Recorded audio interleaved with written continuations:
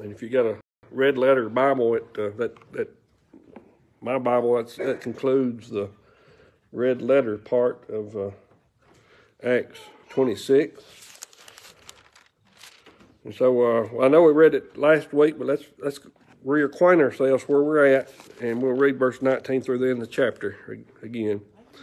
Uh, verse 19 says, Whereupon, O King Agrippa, I was not disobedient unto the heavenly vision, but showed first unto them of Damascus and at, and at Jerusalem throughout all the coast of Judea, and then to the Gentiles, that they should repent and turn to God and do works meet for repentance. For these causes the Jews caught me in the temple and went about to kill me. Having therefore obtained help from God, I continue this day, witnessing both the small and great, uh, saying none other things than those which the prophets and Moses did say should come, that Christ should suffer, and that he should be the first that should rise from the dead and should show light unto the people and to the Gentiles. And as he thus spoke for himself, Festus said with a loud voice, Paul, thou art beside thyself, much learning doth make thee mad. But he said, I am not mad, most noble Festus, but speak forth the words of truth and soberness. For the king knoweth of these things, before whom also I speak freely. For I am persuaded that none of these things are hidden from him, for this thing was not done in a corner. King Agrippa, believest thou the prophets? I know that thou believest. Then Agrippa said unto Paul, Almost thou persuadest me to be a Christian.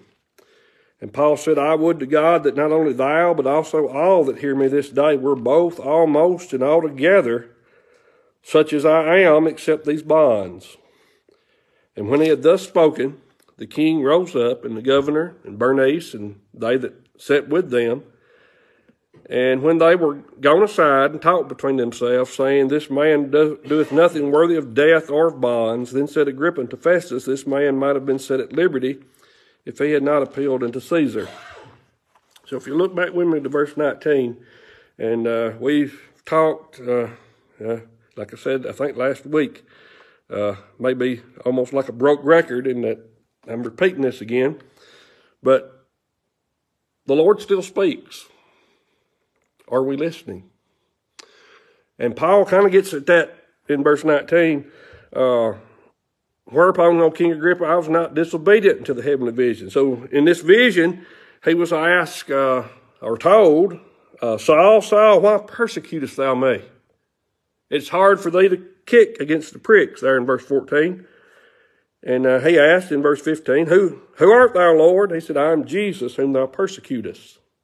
But rise, stand upon thy feet. In verse 16, for I have appeared unto thee for this purpose, to make thee a minister and a witness, both of these things which thou hast seen, or uh, and of the, those things in which I will appear unto thee, delivering thee from the people, from the Gentiles, and to whom now I send thee, to open their eyes, to turn them from darkness to light, and from the power of Satan unto God, that they may receive forgiveness of sins, inherit an inheritance among them which are sanctified by faith that is in me. Reminds me of uh, John 1 11. He came to his own, his own received him not. Now he's sending Paul, the missionary, uh, who's just been saved, sending him to us, sending the gospel to folks like us.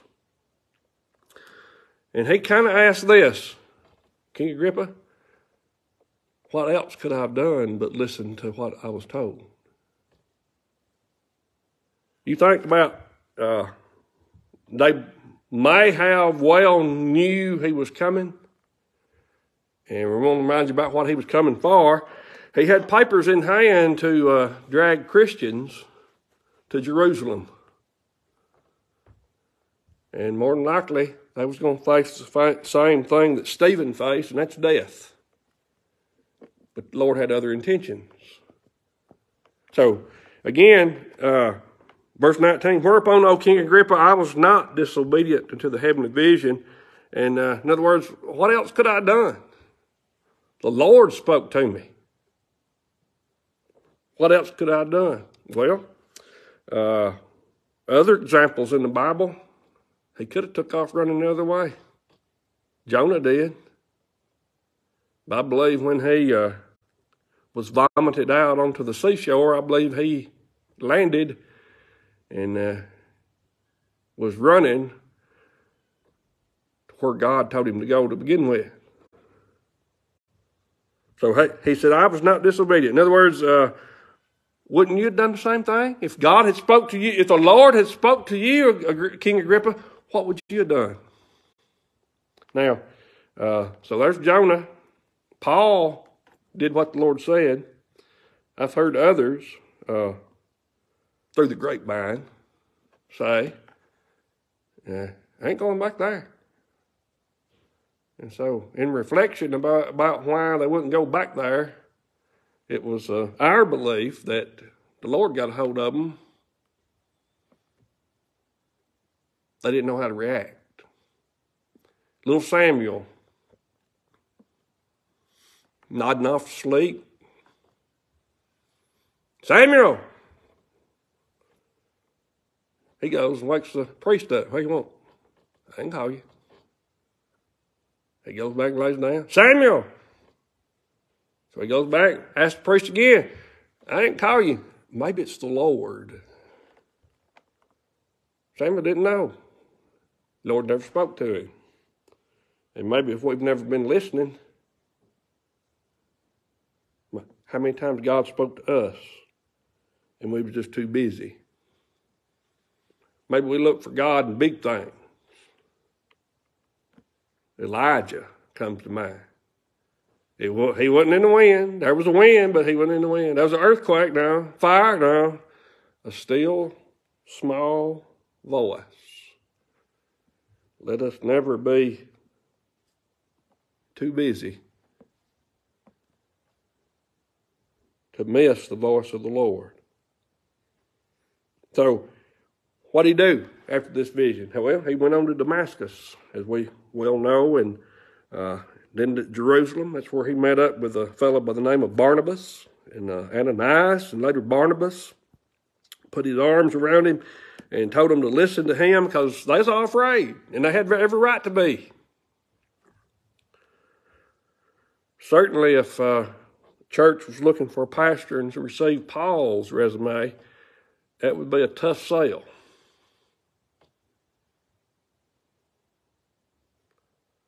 Oh yeah, he was uh, one of the first deacons of the church. Uh, he was there when they stoned him to death, and uh, he allowed them to lay their coats down at his feet, and he he was cheering them on. Didn't throw any rocks, but he he was cheering them on, and uh, you know persecuted uh, people in the way, the way of what? In the way of Christ, persecuted them, and with the same zeal he was doing that, though though now he's doing other things in the opposite direction. So he presents to King Agrippa the gospel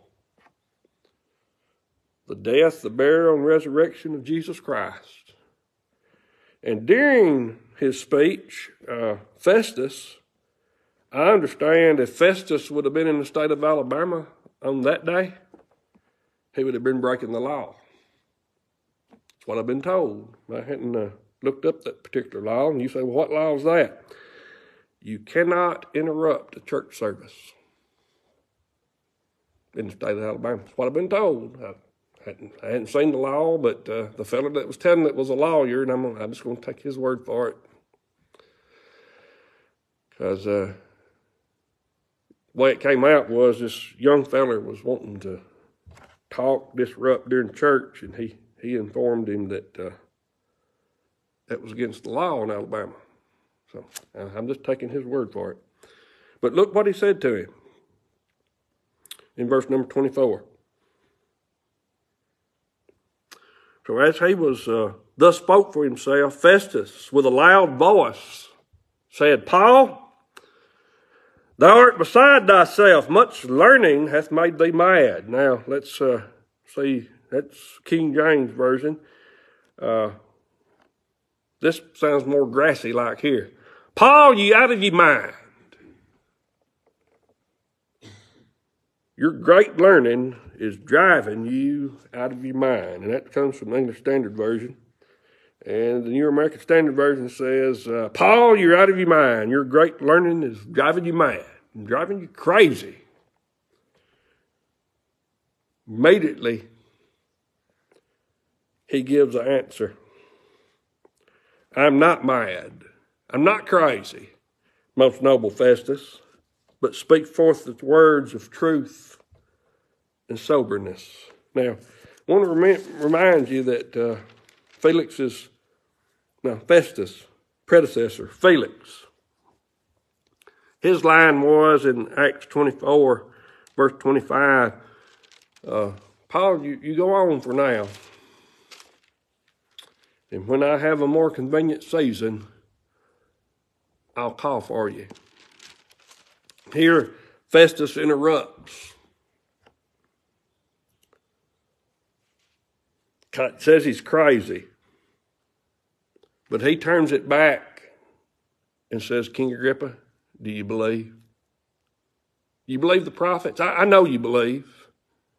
King James Version says, almost, and that's where we get our hymn from. Almost.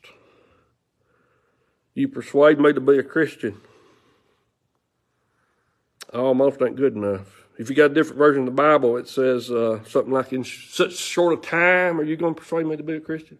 Or in so few words, are you going to persuade me to be a Christian? Well, it, it's simply this: the the gospel in its purest form. Uh, look over with me to 1 Corinthians 15. And we'll start reading in verse number 3. 1 Corinthians 15 in verse number 3.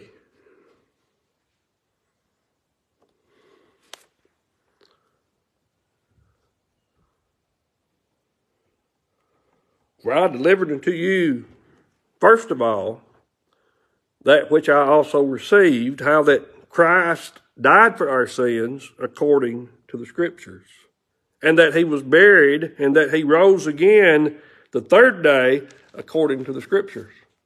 There's the death, burial, and resurrection in two verses. Uh, I didn't know how to take this. this happened, uh, let's see, Anna is fixing to be 26. So this happened 25 years ago. I preached at this church, and they were talking to me about this, that, and the other. And uh, the uh, chairman of the deacons, who was also the chairman of the pulpit committee, got up and said, uh, "I just want to read y'all what his uh, goal or objective is." And uh, I believe I had it wrote down uh, in so many words to make as many people like Jesus as possible through the preaching of God's word. And uh, he said, short to the point, just like his preaching. And I don't know how long winded that guy was before me or that was there. But uh, he says he gets what he's wanting to say said, and then it's over. Well, how long does it, how long does it need to be? He gave King Agrippa what was needed for salvation. And so many, maybe some of us fully saved, thought, is that it? Yes. Christ lived a perfect life. He died on the cross for our sins. They buried him, and on the third day he rose, victorious over the grave, so that you and I can have victory. So he says, King Agrippa, don't you believe? I know you believe. Um, King James Version, almost you persuade me to be a Christian. And then, uh, kind of like verse 29 kind of sounds, he kind of sounds like J. Vernon McGee. Uh, when that preacher from down the road came and said, Can't we get along? Can't we find some common ground? Can't we fellowship together? And J. Vernon McGee said, uh, Well, this Jesus you preach of, virgin born? Uh, we don't believe that. He died on the cross and was right. Well, apparently then you are preaching about a different Jesus. Don't you want, don't I want, don't you want folks to know the Jesus that we know, that I know, that you know? That's what Paul says in verse 29. Paul said, I would to God that not only thou, but also all that hear me this day were both almost and altogether such as I am. What? Saved. Knowing that heaven is going to be their home. Uh, in the English Standard Version, which says, in a, in a short time you persuade me to be a Christian, Paul said, whether short or long, I would to God that not only you, but also that hear me this day might become such as I am, except these change. In the New American Standard Version, uh, Paul says, I wish I would wish to God that whether in a short or long time, not only you, but also all who hear me this day might become such as I am, except for these chains. And you say, well, Paul wasn't long winded. Well, you remember one night he got to preaching and he got went after midnight and that feller fell out of the loft and died. And Paul prayed over him and uh, his life was restored. I think that was uh, back earlier in the, the 20s uh, chapters of uh, Acts, around chapter 20 or so. Verse 30 says, And when he had thus spoken, the king rose up, and the governor, and Bernice, and they that sat with them. And when they were gone aside, they talked between themselves, saying, This man do, doeth nothing worthy of death or of bonds. Sounds like another feller they talked about just a short time earlier, just a few years earlier, about 30 or so years earlier. His name was Jesus. This man's done nothing worthy of death. Who do you want? I can release you, Barabbas, the murderer. Oh, no. We want Jesus crucified, and uh, if you're going to release anybody, yeah, give, give us that Barabbas. Give us him, but crucify Jesus. Verse 32 Then said Agrippa unto Festus, This man might have been set at liberty if he had not appeared appealed unto Caesar.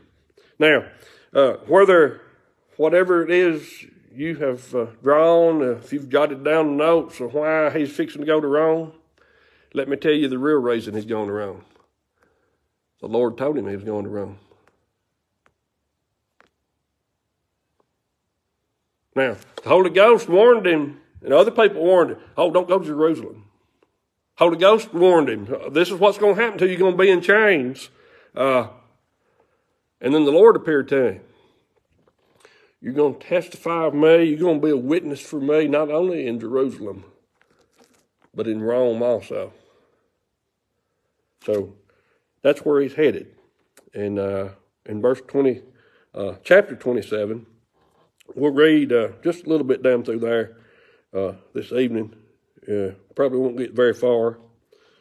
But uh, you'll look with me to we'll we'll take verses one through five. And he's uh, now other times he went by foot while the others went by ship, but he's going to to Rome by way of ship.